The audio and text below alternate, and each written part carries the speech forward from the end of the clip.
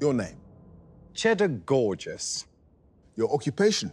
Cultural icon. Your chosen charity? We are survivors.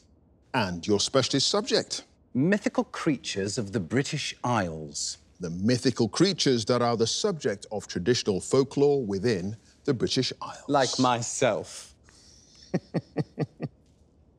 In one and a half minutes, Let's go. The national emblem of Wales is the Draig Goch, a red depiction of what mythical creature? A dragon. Yes, the legend of what creature is thought to date to the story of St. Columba overcoming a huge water beast in a river in the Scottish Highlands in AD 565. The Loch Ness Monster. Yes, in a Christmas tradition.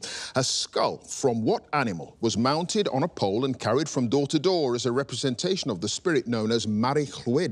The horse? Yes. What name for a supernatural being said to resemble a large black dog and feared in some parts of Yorkshire refers to the soft sound of its paws relentlessly following someone destined to die? The padfoot. Yes, the heraldic animal with the head of a fox, the chest of a greyhound, and the talons of an eagle, which has ancient associations with the Irish O'Kelly clan, shares its name with which London borough? The Enfield? Yes, what word from the Old Norse for a serpent or dragon follows lambton, laidley and linton in the names of three famous such creatures from northern England and the Scottish borders? The worm. Yes, the gooseberry wife is a protective spirit in the form of a huge hairy caterpillar said to guard gooseberry bushes in the folklore of which island off the south coast of England?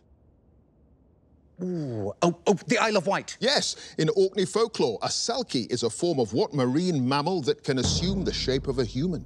It's a seal. Yes, in medieval Welsh literature, the legendary Owain, the son of Urien and Morgan le Fay, has an army comprising 300 members, of which bird of the crow family, who launch an attack on King Arthur's squires?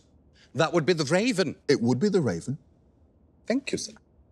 And at the end of that round, Cheddar, no passes, Nine points. You. What's